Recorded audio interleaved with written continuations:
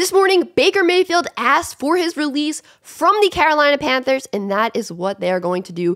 Baker Mayfield is set to hit waivers, and I don't think this is a coincidence at all that this happened the day after Jimmy Garoppolo suffered a season ending foot injury in the 49ers win versus the Dolphins. Brock Purdy is now the 49ers starting quarterback. He's Mr. Irrelevant from this past draft, meaning he was the literal last player selected in the draft. He started out the season as their third string quarterback. And now it's like, oh my gosh, what are the 49ers going to do? Josh Johnson is the only other quarterback signed to the 49ers right now. And last night I was thinking, ouch, this really sucks for the 49ers.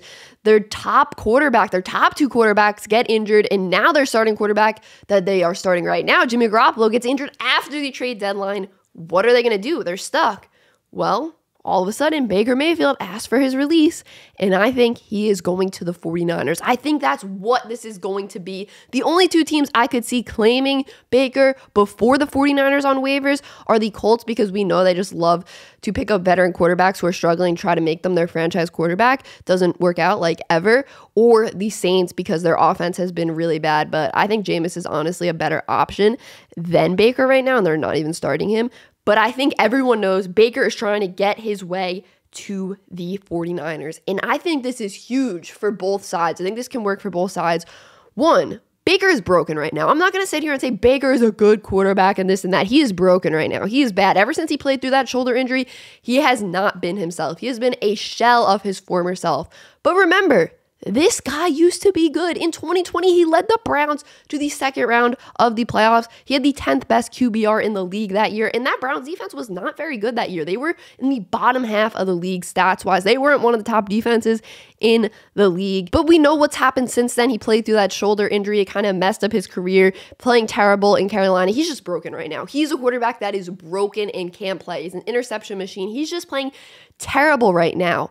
But then you have Coach Shanahan of the 49ers. And that's the guy you want to play for if you're a quarterback that's broken. We've seen what he's done with quarterbacks. We've seen how Jimmy was even coming into his own recently before he got injured. He was a little rusty to start the year once Trey Lance got hurt and he came in, right? But the 49ers were on a four game win streak under Jimmy Garoppolo and he was really starting to play well. If you're Baker, you're like, I want to go to the 49ers.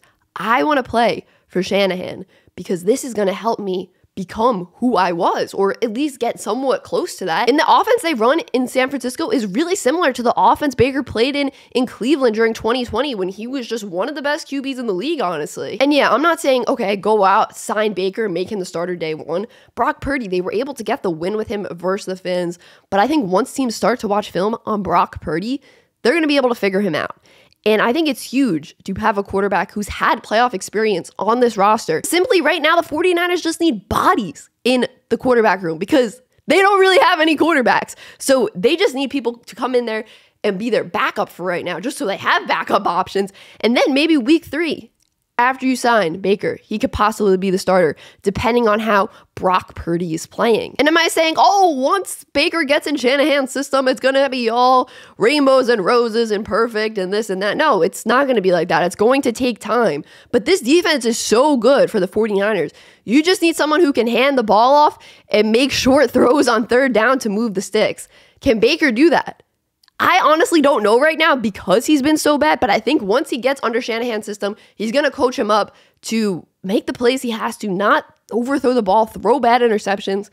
I really think this could be huge for Baker Mayfield, almost like a rebirth of his career, not to overstate anything because he's just he's just in a terrible terrible spot right now and the possibility to at least get in the 49ers building and learn from Shanahan could be huge huge for him. So I think it's a no brainer for the 49ers to sign Baker Mayfield. And I think he could possibly be their starter at the end of the season and get them a playoff win. I think they can win a playoff game with Baker Mayfield. I'm going to say it because that defense is so good. One of the best in the league. I think they can win a Baker a playoff game with Baker Mayfield under center. I think they can. Appreciate you guys watching until the end. Let me know what you think about this Baker Mayfield situation.